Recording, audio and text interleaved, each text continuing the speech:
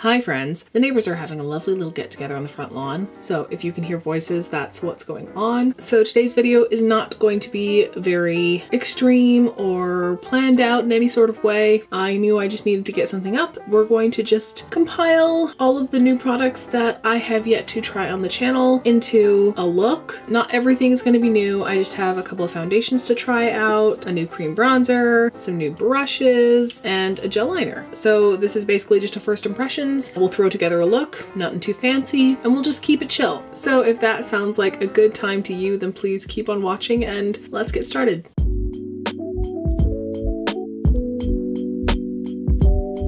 The look's not going to be super fancy. I'm just going to keep it focused on trying out these new products that I've been sitting on for weeks now. The look's probably going to be very similar to one that Raw Beauty Kristi did uh, just a couple weeks ago, I believe. She was trying to recreate this Instagram filter. Actually, I went and tried myself. I'm going to screen record this. I'm actually going to show you what it looks like on me because I personally think that this filter is slightly terrifying. So here it is. It's called Stacy and like, do I or do I not just look like an alien? It looked great on Kristi, but to me, I feel like I just look like I have crazy eyes, like really, really crazy eyes. But I do love all the freckles and I do like this winged out smoky liner moment with some lashes. So I think we're gonna do something similar to this, but we're gonna make it wearable for me.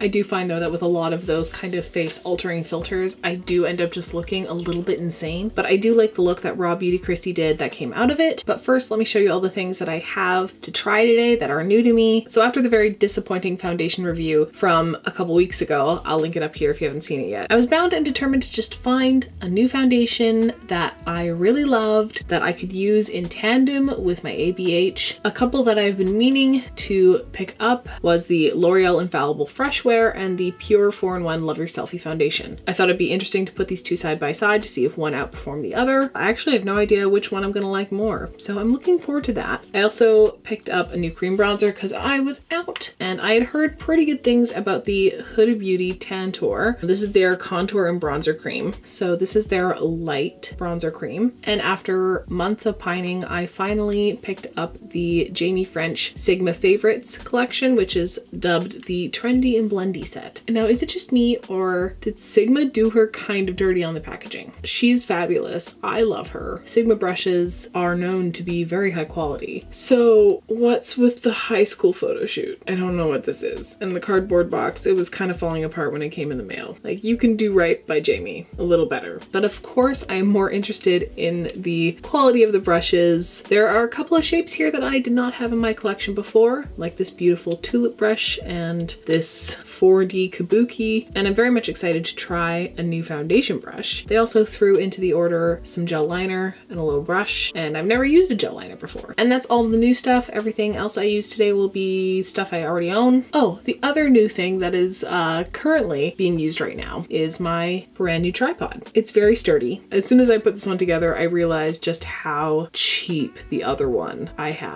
was. I have high hopes for everything, so let's just zoom in a little bit and start applying foundation, shall we? I'm just gonna throw down some primer really quickly.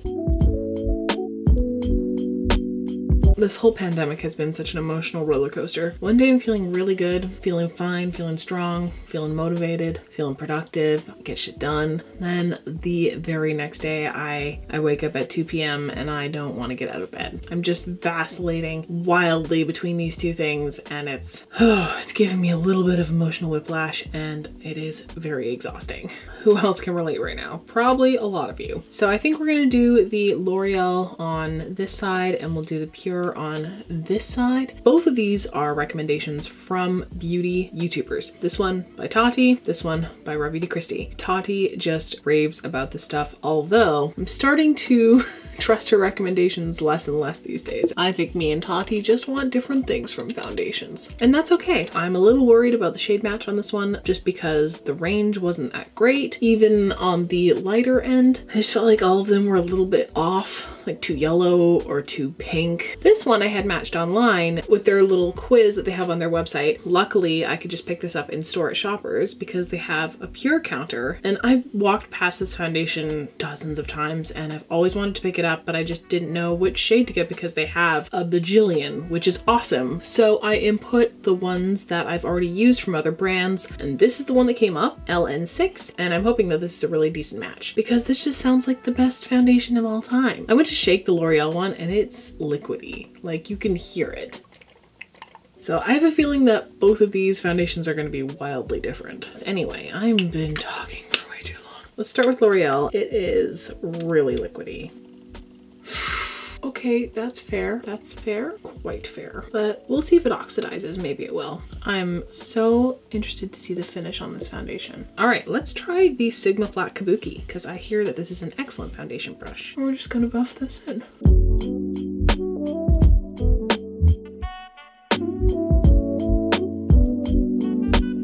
Oh, it kind of looks like it's oxidizing a little bit, which is a relief. It feels really light and oh man, I gosh, my skin is just so busted right now. This just really highlights all of the redness, hyperpigmentation in my face like crazy. Let's just take a look-see close up. Okay, it's light to medium coverage for sure. Let's build up a little bit more on the nose here because I feel like that really didn't do much. And the foundation brush really is quick.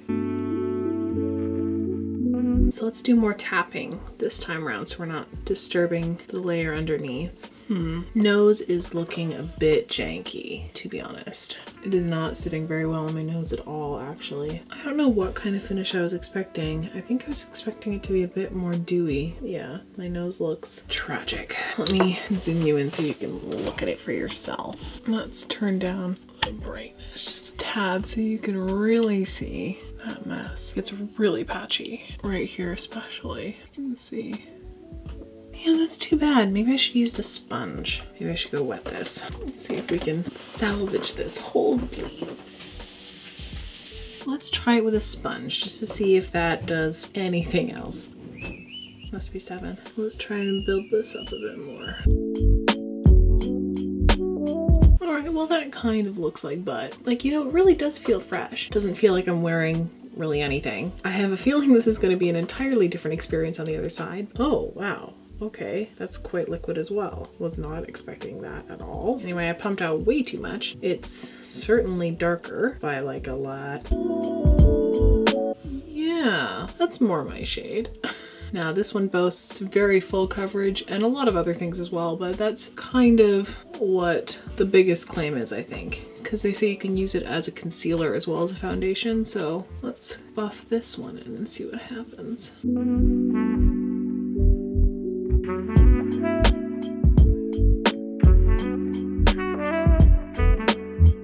Now this one feels a lot more natural than I was expecting. The way Raw Beauty Kristi wears this foundation, it looks like it's gonna be so full coverage. Let's try the doe foot applicator.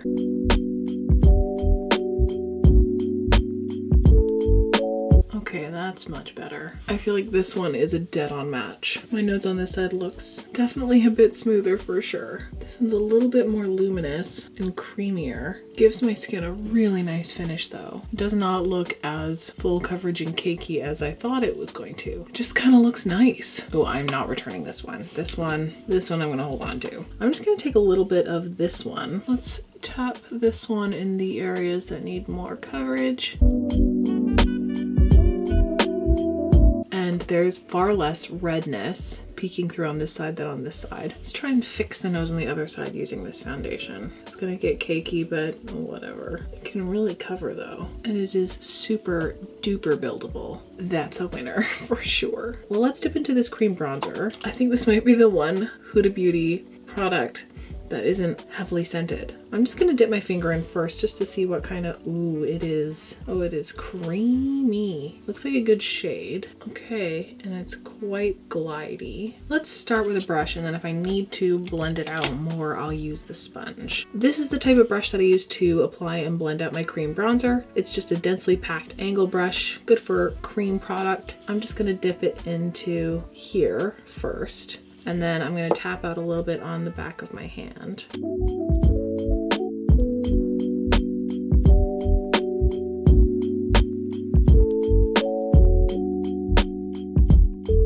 Well, a little bit definitely goes a long way. I want to see what happens when we use the sponge.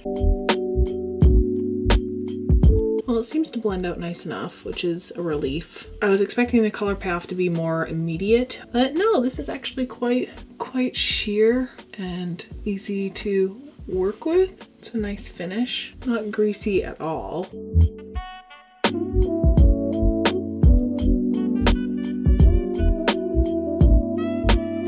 feels like I can still work with it even after it's been on my face for a little bit. It's actually a lot cooler in tone than I anticipated. It's looking a bit more stark on this side because of the lighter color of foundation, so ignore that. Really nice and very user friendly. Let's try and contour the nose a weens. I'm wondering what the foundation's going to do underneath. I'm actually a little bit nervous. So we're just gonna tap it in real gently.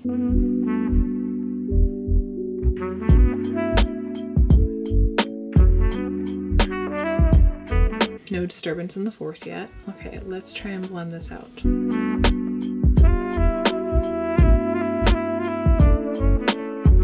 That actually doesn't look bad at all. All right, success. I think I'm ready to throw on some concealer, set everything with a little bit of powder. Let's just dab on a teeny bit of concealer under the eyes. And I think that's all we're gonna do for today.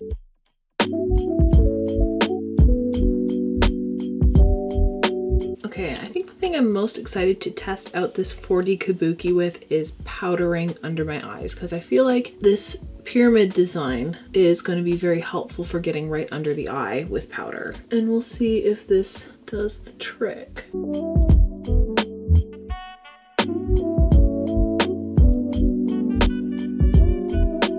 Well, it definitely got right in there, which is good. Let's just take that down the sides of the nose as well. Oh my god, nose looks absolutely terrible on that side. This side looking pretty fresh, blendy, soft. This side, she's a little bit patchy. Let me just finish powdering and then we'll zoom in and you can take a look at all this. So this side looking not too shabby. Everything worked really well together, blended really nice in this area. Texture is a little bit minimized here and no creasing in the smile line yet. Everything just looks good. And then there's this side. This is a travesty. What is this? It's clinging all around my nose. The foundation lifted in this area here where I tried to blend down the nose. This is looking pretty patchy. It is not cute. All right, luckily you cannot see all of that from over here. Alrighty then, I think we can just carry on with a little bit of powder bronzer.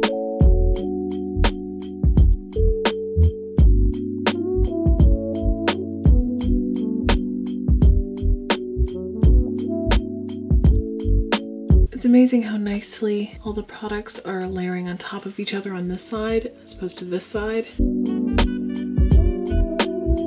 I'm just gonna go off camera real quick and slap on some brows and then we can come back and finish the rest of the look. The party don't stop upstairs. It is in full swing. So we're gonna compete with that for a little while. Apart from this nose disaster, everything seems to be settling pretty well. Under eyes don't look too terrible yet. I really wanna try out this spotlight duster with a little bit of these ambient powders from Hourglass.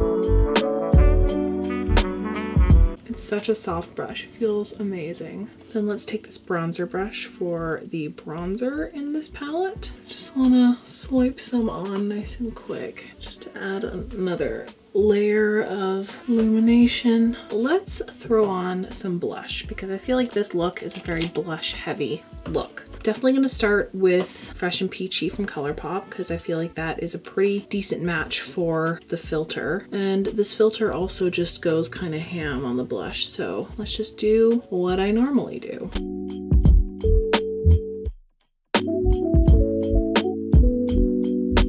And then let's really focus this across the bridge of the nose.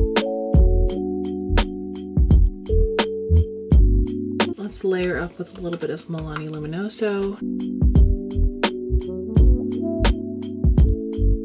I love the shape of this tulip brush. I want like seven of them. Let's just take a little bit of eyeshadow and freckle up here.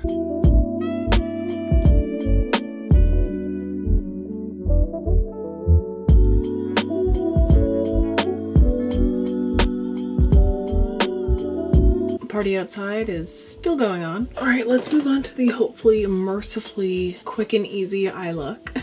So I think firstly, we're going to take some black eyeshadow and map out where we want this wing shape to go. And then we'll go in with the gel liner on top and deepen everything up. We want this to be smoky, blendy. We're gonna keep the wing to only the outside of the eye. So I think we're going to start here and map out where we want it to end. But we're trying to concentrate it on the outer corner.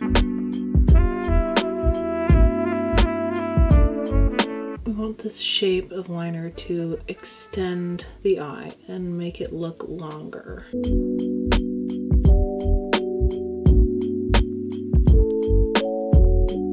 And when I open my eye, want it to lie flat, which is why it's looking a bit interesting of a shape when I close my eye. But when I open it, it's nice and flat. Okay, I think that's a decent shape. I really like how pulled out it is. All right, so now I'm going to test out this black gel liner. I don't even know what the consistency of this is gonna be like or how it's gonna set up, but we're gonna give it a whirl. It also came with this little handy dandy brush, which I'm grateful for. So let's try and deepen things up a bit. Bye. That's really nice. Super smoky, soft. Love that. It really is such a shame that my eyelid looks like absolute budget. So I think I need to do a little bit of lash surgery because we want the lashes to only really be emphasizing the outer corner. I think I need to do a bit of chopping and screwing. These lashes are already falling apart, so those will work. These are a really busted up set of Slayer lashes from Rouge and Rogue. I think those will work really good. Let's first do a little coating of mascara on the top.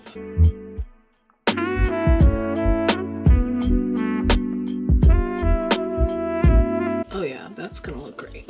Also, this is such an easy way to apply false lashes because you don't have to worry about the whole band. Okay, I'm pretty happy with how this looks, so I'm just gonna do all of this on the other side and then we will come back and wrap things up. This lash I think went on a little bit smoother this one's a bit droopy, so I'm just trying to press it up here. Oh, this is such a cute eye look. Really simple, really straightforward and easy. In the filter, I don't think there is any bottom mascara. We might just leave it because, I don't know, I think it's kind of a look. But first, highlight. I want something bright, something that will stand out, so I'm going to use my Physicians Formula Butter Highlighter in Pearl. I used this in the last video, but I just I love this highlighter so, so much. And I'm gonna try this high cheekbone highlighter from Sigma. I'm looking forward to this. That is so soft.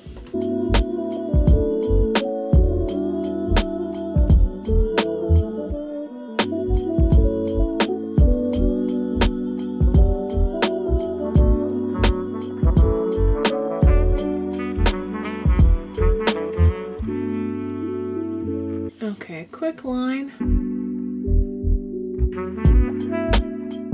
to concentrate it mostly in the center.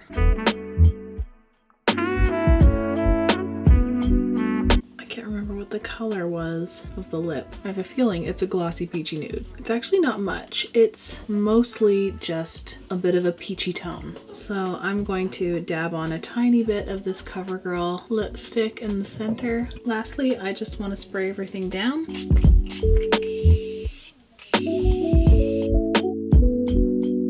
I am really loving the ease and simplicity of this liner and lash combination. Such a painless process. I feel like it almost gives you that sort of eye lift effect. I really love it. Yeah, I feel fresh and cute. I wish I was going out tonight. Hold on, let's just put on a bit of gloss just for a little extra something.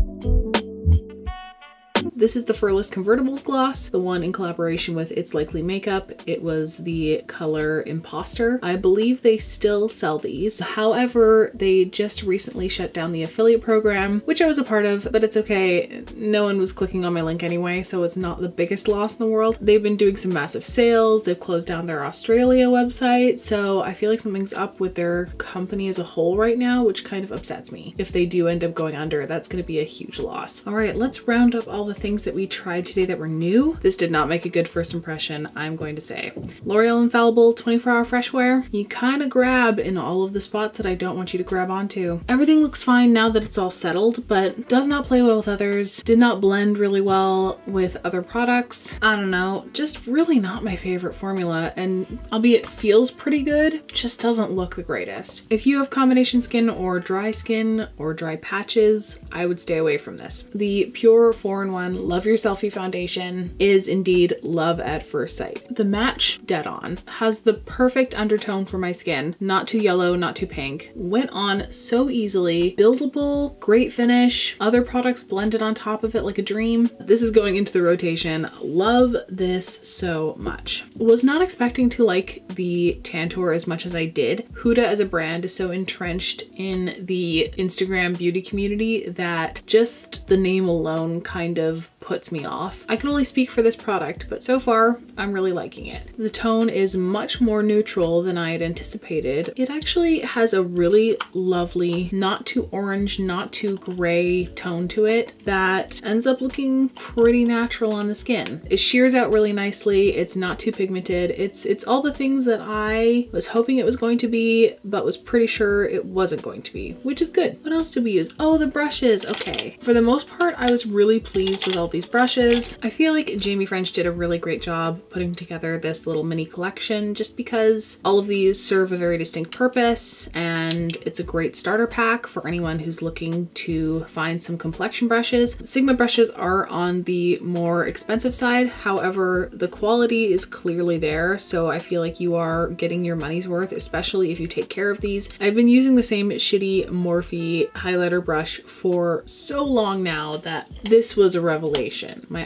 eyes have been opened. I see the light and the light is good. The light is the light is very good. This was great for my ambient powders. I feel like it really just hugs the curves of your face. These two things are best friends they are going to do great things together. And the Kabuki brush, I'm going to say I need to work with it more. I'm sure it has many, many different uses. I'm just at a loss of which ones are going to benefit me. This is my first time ever using a gel liner and it was pretty foolproof. Gel liner gives you a whole lot of control. It's not going to get away from you like a liquid felt tip or brush tip liner would. It definitely took the pressure off. So that's everything for me. I think most of these things were a win. If you are still here, thank you for sticking around to the very end. These kinds of casual, laid back, really chilled out videos give me a, a nice buffer in between the creative videos that require a lot of brain power and concentration and just mental energy for me to execute. So I hope that you can enjoy these kinds of videos just as much. So let me know what you thought of this look, what you thought of all the products. Leave a comment down below on any other Instagram filters you'd like me to try and recreate because I honestly feel like I look better like this than I would with the Instagram filter. I don't know, that's just my opinion. Let me know your thoughts. I'm gonna sign off because there is a meteor shower on my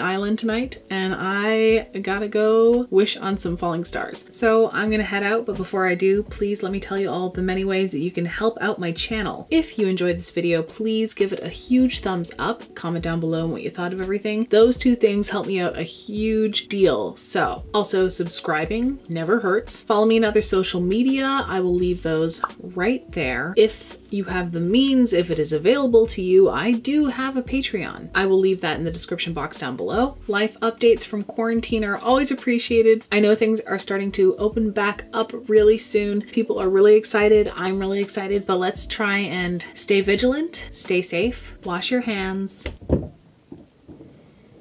and unlike my neighbors, keep your distance. Above all else, just be kind and be generous, and I will see you in the next one. Bye guys.